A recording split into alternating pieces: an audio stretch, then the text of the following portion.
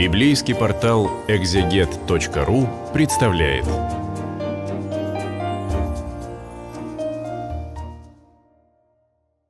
Здравствуйте, друзья! На библейском портале «Экзегет» читаем книгу Аввакума, вторая глава. В первой главе звучали вопросы Аввакума, пророка, обращенные к Богу. А вопросы в этих вопросах выражается его непонимание, почему же в мире господствует зло, и Господь на это молчаливо взирает и не прекращает и не запрещает этому злу твориться. Вторая глава начинается такими словами. Пророк говорит о себе. «На стражу мою стал я, и стоя на башне наблюдал, чтобы узнать, что скажет он во мне, и что мне отвечать по жалобе моей». Словно на стражу, пророки часто называются стражниками, действительно, в э, пророческих книгах самих, и вот пророк встал на свою молитвенную стражу, вопрошает Бога, ждет ответа, какой же Господь ему даст ответ. Между прочим, эти слова, первый стих второй главы Авакума, они э, являются темой для ирмасов четвертой песни канона. На божественней страже, богоглаголевый Авакум, все конечно же, помнят и поют эту, этот замечательный Ирмос. А, вот. «Во мне и что отвечать по жалобе моей». Вот дальше второй стих уже со второго стиха начинается ответ Господа. «И отвечал мне Господь и сказал, запиши видение и начертай ясно на скрижалях, чтобы читающий легко мог прочитать. Скрижали, лухот, каменные такие доски. Если на них запись вытесать, вырубить, вот, на этих каменных дощечках, то она очень надежная, долголетняя. То есть пророчество это неистребимо. Слова Божьи, которые дальше прозвучат, они на века, на тысячелетия и навсегда, можно сказать. И их легко можно будет прочитать. Надпись на камне легко читается обычно. А, это не глиняная табличка, это не, не кожа, и это не папирус, тем более легко истлевающий. Поэтому повелевается на вот этих лухот на скрижалях начертать пророку а, ясно это пророчество. Ибо видение относится еще к определенному времени и говорит о конце и не обманет, и хотя бы и замедлило, жди его, ибо непре, непременно сбудется, не отменится. Вот здесь звучит уже эсхатологическая тема эсхатологический мотив. Дальше прозвучит в 14 стихе, в некоторых других стихах этой главы а, пророчество эсхатологического характера. То есть относятся не только ко времени, ближайшему для пророку времени, то есть к ассирийцам, к халдеям, к судьбам родной Иудеи, но и относятся к времени отдаленному, к времени конца истории, к Дню Господню, к тому дню. Хотя этого выражения здесь нет, День Господень, но а, эсхатологический характер очевиден – говорится о конце, здесь сказано в третьем стихе. И вот это пророчество не обманет. Господь прав, а, правдив и праведен, Он не обманывает. И, наконец, переходим к четвертому стиху второй главы, который является, который является центральным во всей книге. «Вот душа надменная не успокоится, а праведный своей верою жив будет». Вопрос, который звучал в начале первой главы «Доколе, Господи, я буду взирать, и ты не слышишь, буду вопиять о насилии, ты не спасаешь» и так далее. Почему в мире господствует вражда, насилие, злодейство, бедствие? Вот теперь пророк получает ответ на все эти свои вопрошания. Душа надменная, ассирийцев, вавилонян, всех врагов она не успокоится, всех этих мироправителей тьмы века сего. Она не успокоится. Они, как есть другой образ, как бродящее вино. Оно бродит, оно не может успокоиться. Вот так же душа злодея.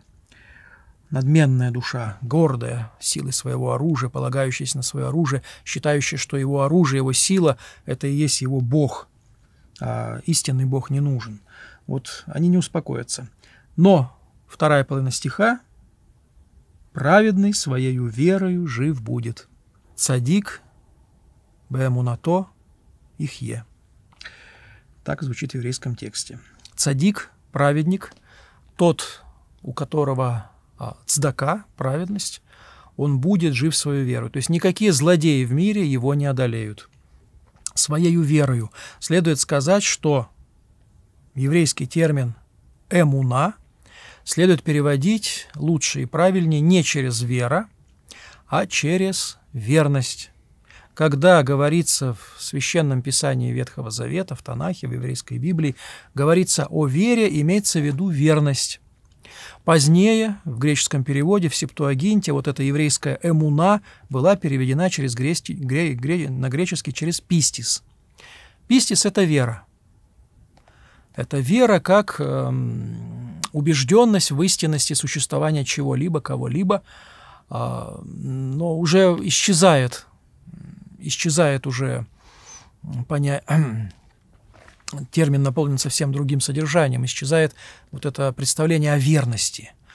А, если вера в Ветхом Завете – это верность Богу, как раб верен своему господину, человек верен своему Богу. Авраам поверил Богу, проявил доверие к его словам, проявил ему верность, исполнил то, что Господь ему повелел. Вот, и эта вера вменилась ему в праведность Аврааму. В Ветхом Завете верность становится верой, эмуна становится пистис. И э, в греческом переводе так становится это, в Септуагинте, и потом это же переходит в Новый Завет, и Павел вот эту пистис, не эмуну, конечно, не эмуна, а пистис, он делает основой для своего учения об оправдании верой. Противопоставляет веру с делами. В Ветхом Завете никакого такого противопоставления нет. Представить себе это невозможно. Ведь а, верность – это дело. Вера – это и есть дело. Если мы под верой понимаем еврейское, еврейское понятие «эмуна». Нет этого противоречия между верой и делами. Потому что вера – это верность. Э, вера проявляется, верность проявляется вот самим делом. Это и есть а, дело верности, это и есть э, вера. Верность, доверие Богу. Ну, примеры веры, примеры, примеры героев веры, ими, ими переполнен Ветхий Завет. Ну, потом все это на греческий манер было переосмыслено и переведено через пистис, то есть через веру. Веру как категорию интеллектуальную, а, категорию умственную, большей частью. А вот в исконном своем значении эмуна – это верность. Как бывают, бывает человек верен кому-то, раб верен своему господину, вот так человек должен быть верен Богу. И вот это в Священном Писании Танахе называется верностью. Эмуна, верность.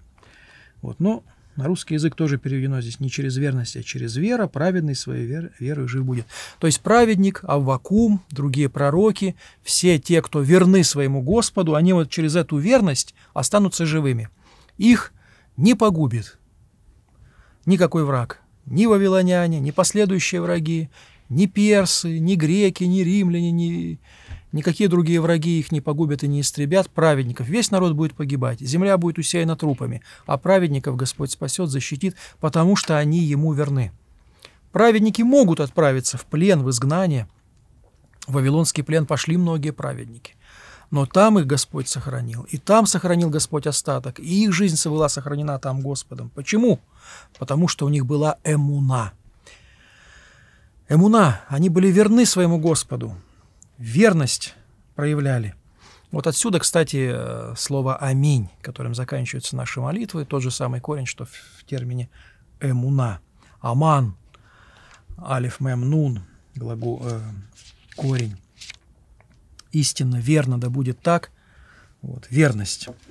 Четвертый стих второй главы книги Аввакума. Центральный стих всей этой небольшой, но очень важной книги – Второй полустиш этого стиха «Праведный своею верностью жив будет». Праведный цадик у тот, у кого а, есть цдака, кто обладает праведностью. Что такое праведность? Праведность – это, конечно, и правосудие. Праведник, он э, в жизни поступает праведно по заповедям Божьим, творит нелицеприятный суд, э, если это судья, то есть правосудие в его руке – и в том, что касается своей, э, своего личного благочестия, он э, тоже безупречен.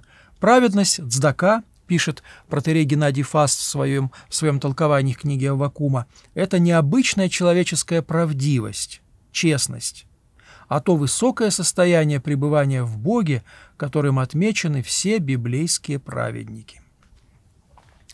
И вот таким был, несомненно, и сам пророк Аввакум. Он был праведником, безупречным, честным, был, э, пребывал в том высоком состоянии в Боге, стоя на своей страже, о котором он сам и говорит. Вот э, Томас Мертон, замечательный автор XX века, рассуждая о молитве, о смысле молитвы, в том числе о молитве Аввакума, он в частности пишет, «Стоит ли вообще тревожить Бога, если мы так мало доверяем Ему, что и во время молитвы слушаем не Его, а себя?» Часто мы молимся и представляем Богу наши проблемы, наши трудности, наши вопросы, и хотим, чтобы Бог поступил по нашей воле. Ну, представляем его себе так, так, такой золотой рыбкой у нас на посылках. Но в молитве мы должны думать не о том, как э, о том, чтобы предложить Богу решить наши проблемы, и чтобы Бог нам помог реализовать наши планы, а должны быть готовыми во время молитвы обратиться к Богу и сказать, «Господи, помоги мне ре реализовать Твои планы». Тогда это будет праведная молитва. Иначе молитва бессмысленна. О чем говорит Томас Мертон? Стоит ли вообще тогда тревожить Бога? если мы ему не доверяем. Здесь вот доверие, верность. Человек верный Богу, как раб верен своему господину, он единственное, что он хочет, это исполнить волю своего повелителя, своего Господа. Не вавилонского царя, не бабки у разбитого корыта, а волю Божию, волю Господа. Вот кто его господин. И его волю он хочет исполнить. И поэтому, когда он молится, как молится пророк Аввакум, он задает вопрос, Господи, как мне исполнить Твою волю? Единственный правильный вопрос. И слушать во время молитвы, конечно, нужно Бога, а не самого себя. Надменный человек, как бродящ, бродящее вино, не успокаивается. Продолжается тема, о которой э, речь шла выше. Надменный человек не успокоится, душа надменно не успокоится. Эта же тема развивается, он как бродящее вино не успокаивается, так что расширяет душу свою как ад – и как смерть он ненасытен и собирает к себе все народы и захватывает к себе, себе все племена. Вот сначала ассирийцы, потом вавилоняне, они стремились к мировому господству, захватывали огромные территории, претендовали, именовали себя, титул у них был царь царей, царь князей, и с надменностью все это делали. И постоянно бродило это вино надмения в них, они не успокаивались, расширяли душу свою, как шеол, как преисподнюю. Преисподняя, она чрезвычайно широка в библейской поэзии, и сколько бы туда ни не сходило людей после смерти, все равно там есть место. Вот и э, словно в шеол, шеол захватывает покойников, так вот эти вот цари, владыки, повелители захватывали все народы, все племена, как здесь сказано. Но не все ли они будут произносить о нем притчу и насмешливую песнь? Горе тому, кто без меры обогащает себя не своим, надолго ли, и обременяет себя залогами. Это грабительство, сопровождавшее захватнические войны ассирийцев, потом вавилонян, потом персов. А, ненадолго, вопрос риторичен, ненадолго. И вот о нем будут произносить о царе Вавилонском тоже, как и об ассирийском, насмешливую песнь, э, притчу и будут говорить горе тому, кто без меры обогащает себя. Нельзя обогащать себя без меры. Не восстанут ли внезапно те, которые будут терзать тебя, и не подымутся ли против тебя грабители, и ты достанешься им на расхищение? Придут медийцы, придут перцы и покончат с вавилонянами так, как вавилоняне покончили с э, Ассирией, с Иудеей, с Иламом, со всеми остальными. Так как ты ограбил многие народы, то и тебя ограбят все остальные народы за пролитие крови человеческой, за разорение страны, города и всех живущих в нем. Закон возмездия. Всякий, взявший меч, от меча и погибнет. Вавилоняне взяли меч, погибнут от медийского персидского меча. Горе тому, кто жаждет неправедных приобретений для дома своего, чтобы строить гнездо свое на высоте и тем обезопасить себя от руки нечестия. Здесь критика и в адрес вавилонян, конечно, но и в адрес а, обычных Э, самых э, обычных неправедных людей, которые стремятся приобретением, лихостью и спекулянством наполнить домы свои добром, устроить гнездо свое на высоте. Вот орел устраивает гнездо высоко в скалах, в недоступных местах. Вот так человек думает, ну вот, я тоже себе сделаю свое жилище неприступным, недоступным, сигнализацию поставлю, охрану три ряда заборов с колючей проволокой, ток пущу, никто ко мне не залезет, и много-много добра а, на долгие дни накоплю, обманом и насилием накоплю и притащу к себе в этот дом. Но, к сожалению, для такого человека, к сожалению, а для всех других людей, к счастью, не сможет он удержать своего богатства. Бесславие измыслил ты для дома твоего, истребляя многие народы, согрешил против души твоей. Бесславие, потому что ты грабил, за это ограбят тебя. Грабь награбленное. И вот медийцы, персы ограбят Вавилон и отымут себе то, что было вавилонянами награблено у других народов. Камни из стен возопьют, и перекладины из дерева будут отвечать им. Камни возопьют, крылатое библейское выражение, оно потом перешло в Новый Завет, как мы знаем. Камни возопьют, скажет Христос.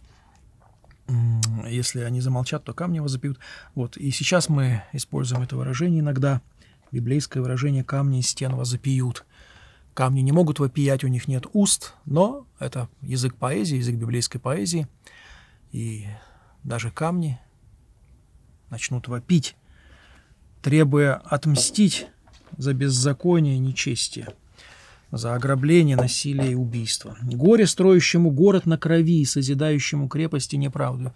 Город на крови, Бавель, Вавилон, а, но также и Нинве, Ниневия, и все другие столицы древние строились, созидались, украшались за счет ограбления других народов, насилия над ними, порабощения, строились на крови на... и были крепостями неправедными. Сегодня у городов нет крепостных стен, но как многие города построены на крови. Не на крови ли построен Норильск? Не на крови ли узников ГУЛАГа построен этот самый город заполярный? Который хвастается, что он самый северный город большой. Вот, но на чьей крови он построен? На крови праведников построен неправдою. И так можно сказать о многих городах. Вот не от Господа ли Саваофа это, что народы трудятся до огня и племена для огня и мучат себя напрасно. Трудятся, строят города, но эти города, городские стены будут разрушены, камня на камне не останется. Эти камни еще его запьют, для огня трудятся. Ибо земля наполнится познанием славы Господа, как воды наполняют море. Вновь звучит эсхатологическая тема. Слава Господня, наполняющая всю землю, его манифестация божественной силы, божественной славы а, будет не только в Иерусалиме, не только в Святой Земле. И слава Господня, Кавод, и присутствие Господне, Шхина, они охватят всю землю, всю Вселенную. И это будет в день Господень. Слова день, э, выражения «день Господень» здесь нет, но понятно, что в 14 стихе содержится эсхатологическая весть о конце.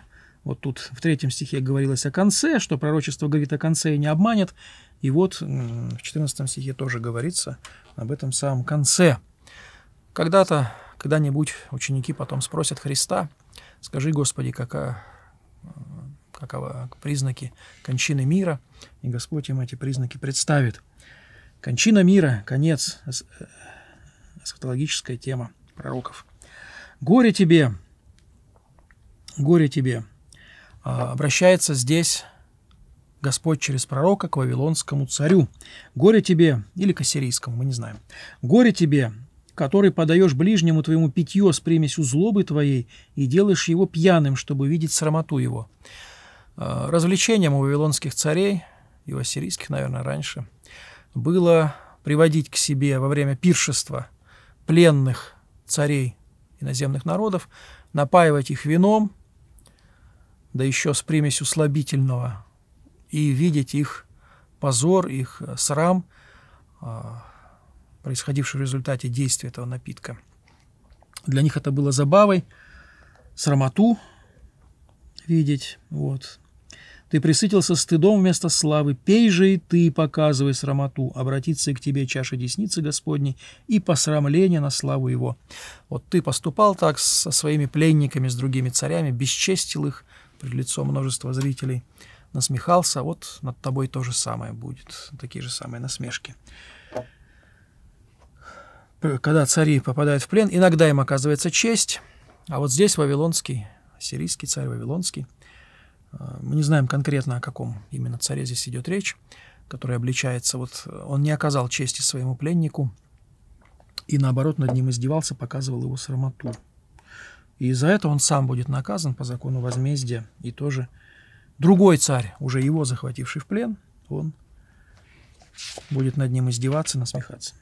«Ибо злодейство твое на Ливане обрушится на тебя за истребление устрашенных животных, за пролитие крови человеческой, за опустошение страны, города и всех живущих рядом». Ливан – это Ливанские горы, и служит также э, это слово символом гордыни, надмения, величия. А, кедры ливанские, горы ливанские – это сила и слава. Вот. Здесь э, непонятно, что за злодейство было явлено и кем на Ливане, но вот один злодей, учинивший злодейство на Ливане, на Ливанских горах, он э, устрашал животных, в то время водилось много животных в тех местах, проливал человеческую кровь, ну, опустошал страны, города, живущих в них. За это с ним будет э, тоже поступ... Господь поступит по справедливости. Он будет наказан. Дальше 18 стих как бы не продолжает тему предыдущих стихов, но пророк здесь, вернее, Господь через пророка говорит уже на другую тему, обличается идолопоклонство, что так часто у пророков и в псалмах э, звучит это обличение идолопоклонников, их э, обличение их безумия. Идолопоклонник безумен, потому что он творит из тукана, фабрикует божество по, по своему образу и подобию, по человеческому, и кланяется изделию собственных рук. Что за польза от истукана, сделанного художником? Эти все державы были идолопоклонническими, ассирийская держава и вавилонская, и все другие, Египет.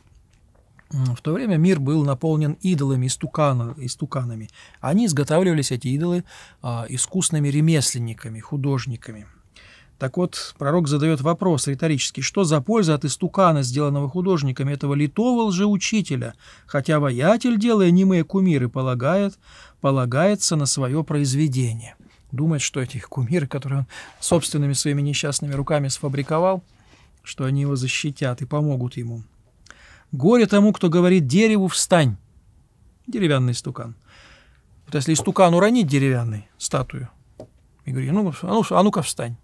Ну, не встанет деревянный стукан. Без помощи человека он беспомощен. Без человеческой помощи он не может стоять, истукан деревянный. Если этот истукан не может встать прямо без человеческой помощи, почему же человек должен на него полагаться?